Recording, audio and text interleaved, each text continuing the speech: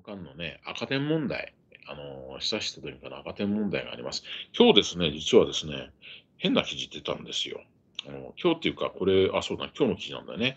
えー、今日の朝9時6分配信のね、日刊現代デジタルなんですけどね、悠仁さまが目指す意外な大学候補、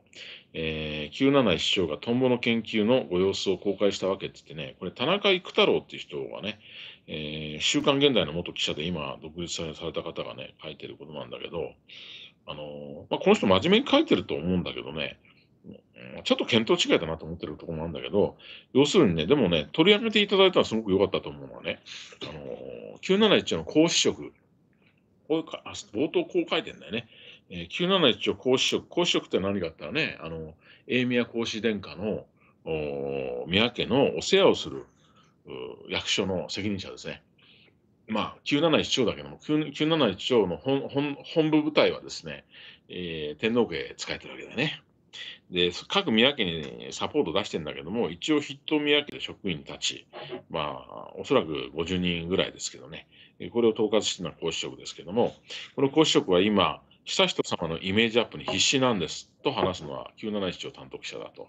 えー、で、どういうことかっていうとね、えー、こういうことを言ってるんですね、その記者はね。筑波大附属高校への入学がこれまで、えー、で、えこれまで通っていたお茶の水女子大附属との提携校進学制度という悠仁さまのために設けられたような方法を使ってのものだったのでっていう、うん、こういうことだね。いわゆる忖度だね。賛否両論が巻き起こったと。えー、将来、確実に天皇に好かれる確実かどうかは私は思ってないけどね、疲れる悠仁様に対するこうした雑音を消すことは皇嗣職にとって、えー、市場命令だったのですと言ってね、で、結果何やったかったらですね、9月の6日に971条のホームページに皇嗣職名、いわゆる梶高春氏ですよね。この間、私的な旅行と称した伊勢参りに同行してた人です私的な旅行にね、皇嗣職、いわゆるその、宮家のお世話役のトップが行くなんてことはありえねえんだけど、えー、これの皇嗣職の名前ね、梶高春名で、悠仁親王殿下16歳のお誕生日にあたりと題する報告が掲載されたと。えー、筑波校で、えー、バドミントン部に入部し、活動に没頭する様子をはじめ、近況を事細かに伝えていたと。えー、夏休みには、これですね、いろいろいろ評判出ましたね。1年生がクラスごとに、えー、訪れる立科高原、長野県で2泊3日の共同生活にも参加。え、同級生たちと登山やレクリエーションに臨み、え、クラスの団結を深めたと言ってるんですね。で、このにもちょっと読みますけどね、えー、この講師職による広告の本当の肝はその先にあったと。えー、筑肥校での学園生活以外の時間をどう過ごしているのかに言及と。ここをよく聞いてくださいね。生き物の調査に励んでいて、特に小学生の時から関心を持っていたトンボ類の生態環境の研究に熱心に取り組む様子を紹介したと。えー、国立科学博物館の報告書、赤坂御用地のトンボ類を参考にしながら、あ御用地内の実態調査を続けているといいと。これ皆さん聞いてどう思いますか？これくらいの活動をしている人がなんでね、現代国語で赤点取るんですか？あのー、今ちょっと紹介されて、これでもほとんどね、私はこれは改めて言います。これはでも根拠ないこと言ってんじゃないんだよね。私もこれくらいの年齢の人、あのー、子供たちを教育した人間としたらね、こんなことをできる子供がね、現代国語で赤点なんか取らないんですよ。で、これいかにも取ってつけたような話でね、第一ね、えー、国立科学博物館の報告書、赤坂御用地のトンボ類を参考にしながら、これ相当高度なことをやってるわけですよ、15、6歳で。これできると思いますか？だからね、あのこの記事すごいなと思うんだけどね、まあ、聞いたまま書いてんだと思うんですよね。で、またこれをですね、えー、言ってるんですね。えー、こういうことを言ってるんですね。博物学。これはあれですよ、孔子職の報告について言ってるんですよ。博物学、とりわけ生物学に力を入れるのは天皇家の伝統であると。えー、昭和天皇は変形菌類やヒドロ虫類の研究で世界的な評価を受けて、えー、秋人上皇はハゼの新種をいくつも発見したと。成人天皇は生物学ではなく交通史を専門とされたが、皇位継承順位1位のエーミヤ、えー、エーミヤ様はナマズや夜勤類の研究で知られていると。悠仁様はトンボの研究に没頭するのは天皇家の一員としてまさに王道を歩むものだ。もうちゃんとやら笑わせますよね。でね、この後ですね、この記事はですね、エーミア殿下のね、概算みたいなのが入っていくんですけどね、えー、エーミア殿下は法学部にも入ったにもかかわらずですね、こういう研究をやっていったと、どこどこ研究部にも通ったって言ってるんだけど、おかと思うんですよね。で、もう書いたんですよ。えー、例えば、エーミア殿下のことをですね、えー、エミア殿下は非常にね、えー、ご多忙だったと、それでね。なんで多忙、何に多忙があって、私からすればですね、もうあのはっきり言えば女の子をナンパしてですよ、飲み会サークルに誘うのに、あのー、お忙しかった方っていう認識を私はしてるけどね、研究って、しかも、はっきり言うと、大学の勉学から法学部入ってるのに、夜勤類だ、その、ナマズだってのはちょっと違うと思うんですよね。学校の勉強から逃げてですね、好きなことだけやったんじゃないの？ああるいはですよ、こういうことがありましたよね。あの、私のですね、日の絵馬女、あゆるトーク、あゆゆゆるトークチャンネルでいいの？あれ。ゆる。ゆるくチャンネルだって、ごめんなさい、ゆるトーク、ゆるトークってゆるくチャンネルでやったですね、えー、タイ旅行になんで繰り返し行かれるんだと。もう、あれですよ、クリントン大統領の歓迎のですね、えー、いわゆる、えー、宮廷のですね、宴会もですね、欠席してですよ、タイに行っちゃうと。まあ、ともかくですね、きちんとしたものから逃げることばっかりでね、こういうことをやりで、で、別の目的もタイではできちゃったわけでしょ。そういうことを言ったらね、こういうことで並べてね、えー、さもですよ、まあ、上皇陛下は知らんですよ、昭和天皇はすごくご立派なことやってます。えー、トンボの研究に没頭するったって、国語力のない15歳から16歳の親王殿下がね、どれくらいの研究できてると思うんですか？それよりもやることは別なんじゃないかなと。バトミントン部の、これね、非常に私ね、ありていに言えば、もっと言うと、つく風校でどんなこう教育をしてされてるのか、どういう校風があって、えー、どういう教育を教員がね、えー、まあ教、教員の集団として、えー、ポリシーを持ってやってるかっていうことを考えたら、やっぱり子どもの自主性を育てると。で、この自主性のね、大事な要っていうのは、自分たちがやっぱりこう集団生活を送り同時にですね、いろいろな交流をしたり、あるいはですね、こういう同好会活動をきちんとやりながら、それと両立させて、勉学をきちんと自主的にやっていくと。で、また、その、さっき言った立科高原なんか行ってクラスの団結深めた団結深めるっていうのはね、ただ仲良くなることじゃないんですよね。お互いに切磋琢磨してですね、えー、はっきり言えば高校って絶対評価で相対評価じゃないんで、えー、競争がまた意味が違うんですよね。だから、仲間がね、赤点を取るような状況じゃダメだっていうことで頑張るわけですよ。えー、まあ、お互いにそれはですね、やり方がありますよ。あの遅れを取った子を教えるとかそういうことではないんだけど、あのー、まあでも、いろいろですねえ、アドバイスをしたしたり、助け合ったりしてやっていくっていうことなんだけどね。なんかこれね、あのさっき言ったいろんな講師職の報告とか、それを反映したですね、宮内記者クラブの話というのは、もうともかく、さっきのあのとあの上皇陛下がなんで、えー、昭和天皇がなんで、天皇陛下がなんだから、天あのー、王道なんだと、皇族の王道なんだと。なんや王様になるような人ですよ。王道って話を使うのもおかしな話なんだけど。あのー、これは私はね、それはね、取ってつけたような話だと。要するに、こうあるべきだってモデルを使って、それに合わせようとして現実を切り張りしてるってことじゃないかということなんですよ。今、現実に大事なのは、国語力がないんだよ、はっきり言えば。国語力がなきゃね、どんな研究もできない。だから、これをどうね、抜本的にですね、解決するかっていうのが求められてるんで、そんなきれい事でね、バドミントン部にね、没頭してるなんて余裕なんかあるはずないんですよ。バドミントン部なんかやったらね、赤点いつまでも解消されませんよ。そういうね、で、他のこと同じようにやってね、えー突出してですよ、遅れた部分なんて取り返せないんです。こんなね、能天気なことをね、あのー言ってて、えーなんていうかな、その、本当、本当に悠仁親王殿下のためを思ってやってる人っていないんだな、っていうことを改めてこの記事を読んで思いました。でね、勝手に、で、この記事もね、まあ、この人、実はですね、この田中育太郎って人はね、なんか、あ慶応大学三田クラブのなんとかとか、そういう、まあ、あ学校罰とかね、いわゆる名門校についてのいろんな記事をお書きになったり、あるいはですね、そういう著作をまとめてらっしゃる方なんで、そういう観点でやってるんだろうと思うんだけどね、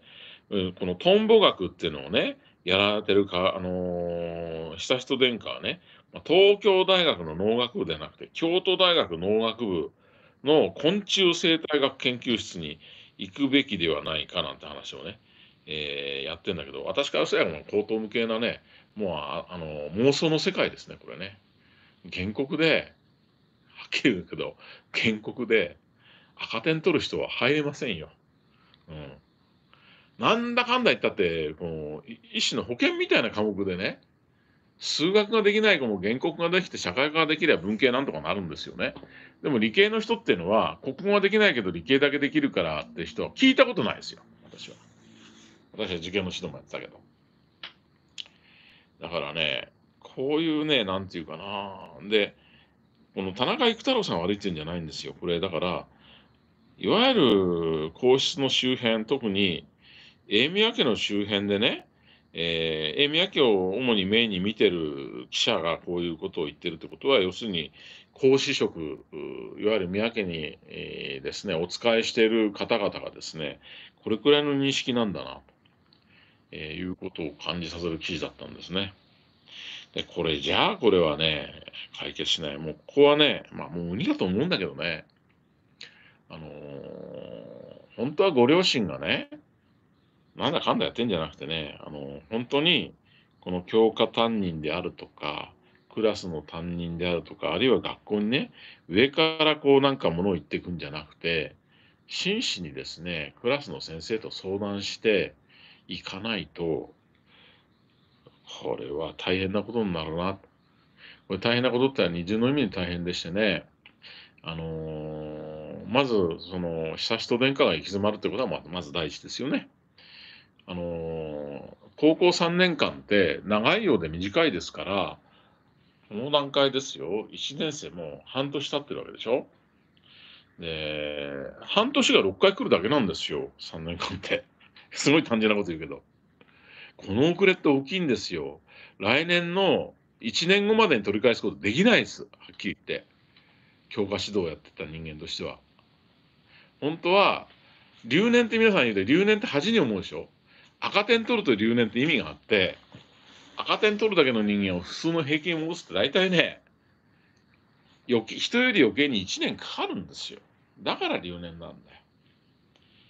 それをね、この3年間、例えば成年皇族に18歳になりますと、それまでにもう立派にしてください。できれば成年皇族になったらその年にはね、もう東京大学決めなきゃなりません。あるいは大学に進まなきゃなりません。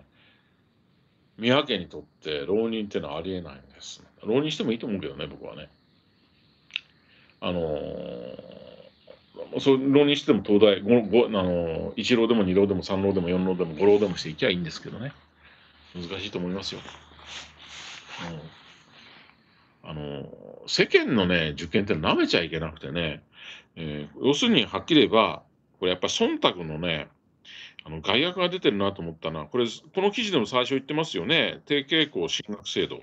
ね、低傾向進学制度ができて、これをですね、要するに、えーまさに悠仁様のために設けられたような法を使ってのものだったので、賛否両論が巻き起こったので、えーこうあのー将来確実に天皇に就かれる悠仁様に対するこうした雑音を消すことは皇嗣職にとって至上命令だと言って、あと東大のことも書いてるんですよね、この記事は。東大はね、えーえーこれまで悠仁さまの進学先として真っ先に名前が挙がってきたのは東京大学農学部と。同大で、えー2016年度から始まった推薦入試、え学校推薦型選抜を使った入学が有力視されてきた。なぜ有力視かって言ったらね、要するに忖度なんですよね、これもね。もう、なんていうかね、ほとぼりが、これできてからほとぼりが冷めてから入れようということで、これ9歳の時ですよね。2016年だったらね。9歳の時にこういうものを作ったと。で、その翌年から寄付金ジャンプが起こるわけですよ。うん私が推測しているのは、あのテニスマフィア関係企業による寄付金ジャンプですよね。えーまあ、こういうぐぐるみでですね、えー皇室の一部が絡んで、こういうことをやってきたっていうのは、これも忖度だよね。まあ、これもでもですね、今の赤点取ってるような状況で東京大学入ったったら、そのこと自体でもまた大騒ぎになりますからね、これ、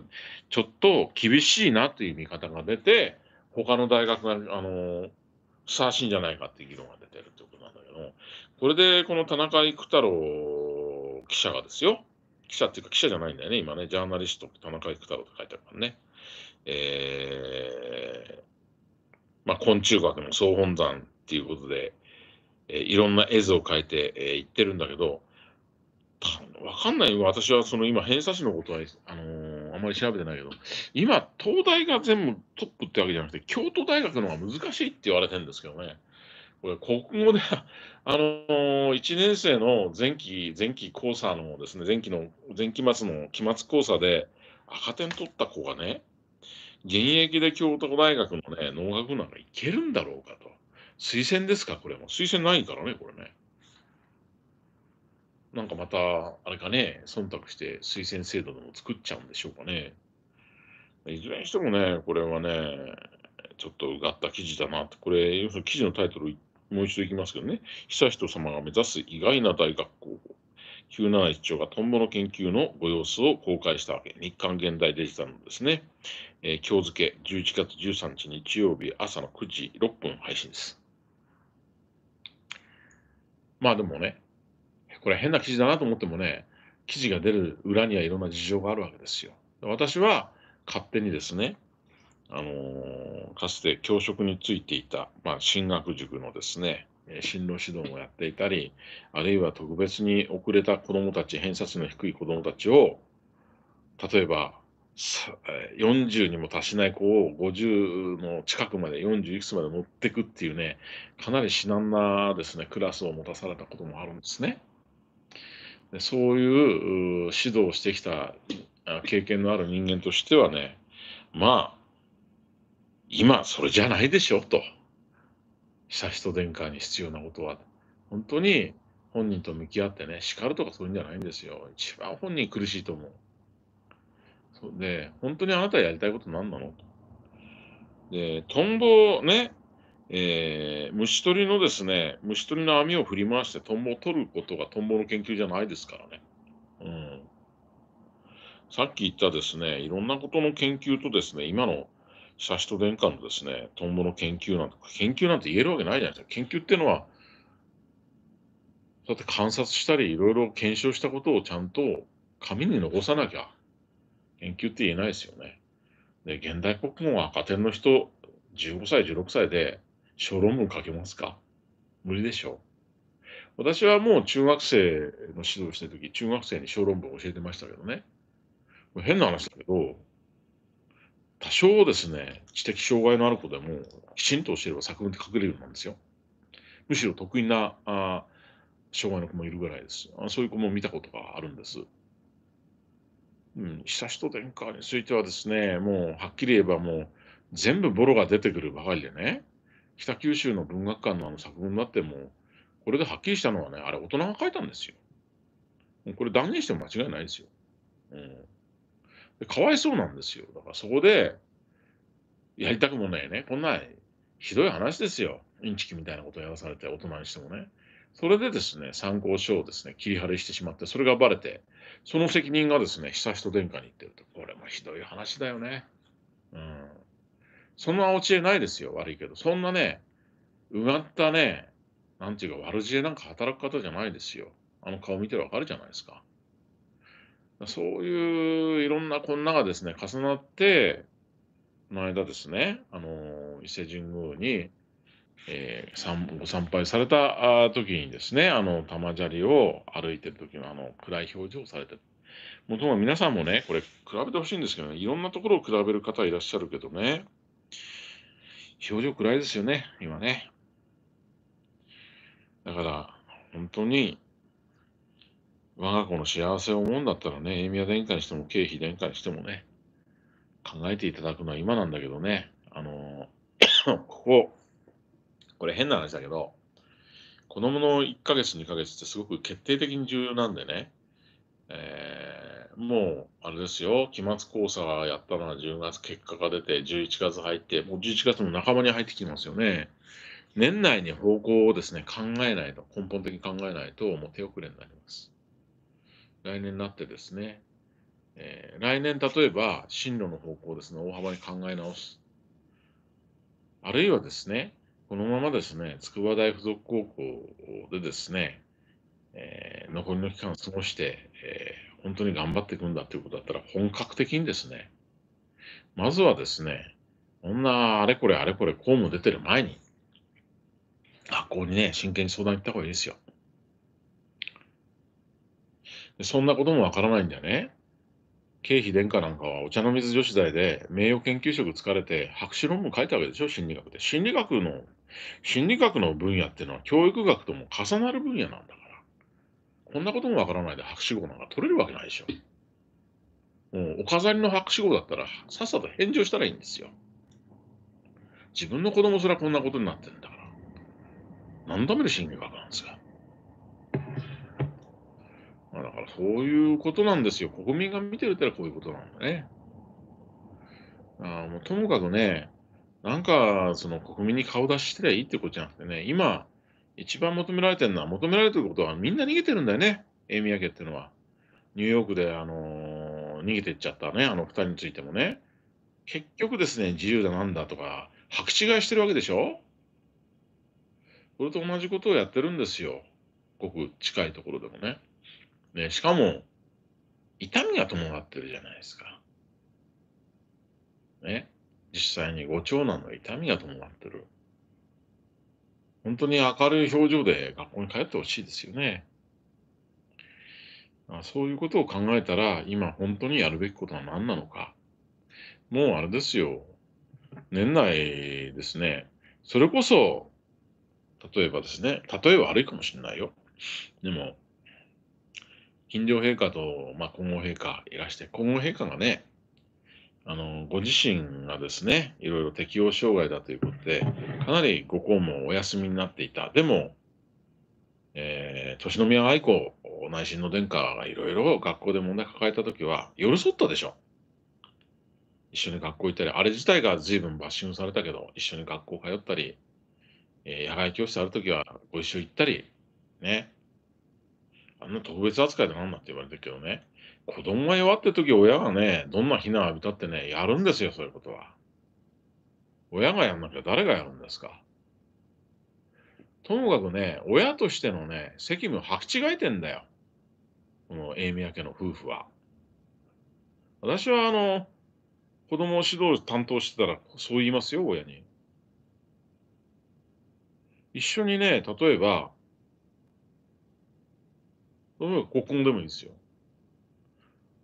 今はね、あのー、昔は難しかったですよ。授業なんか勝手に参加来たら怒られたけどね。今来てもいいんですよ、学校って。何を教室やってるか、まず見に来てほしいですよ。私が担当教員だったら。で、何が問題か見えますよ。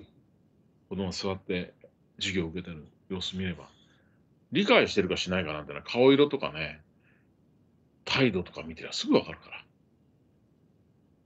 そうやってまず認識をね、共にするところから。それこそ、経費殿下な、もう一人でですよ。殿下、孔子殿下行かれて、お母様はね、もっとね、いや、もう、悠仁殿下が、悠仁が大変だから、私が公務休むって言ってね、そういうことで国民なんか非難しないですよ。まあ、そういう段階じゃないんですかね。私はそう思います。これくらいのことをなんで誰も言わないんだ？人間一人の命かかってるんですよ、これ。これ、本当に命かかるんですよ、思春期は。本当にね、自分の子供をね、愛してほしいです。その子供がね、後遺軽症者とかそういうこと以前の話ですよ。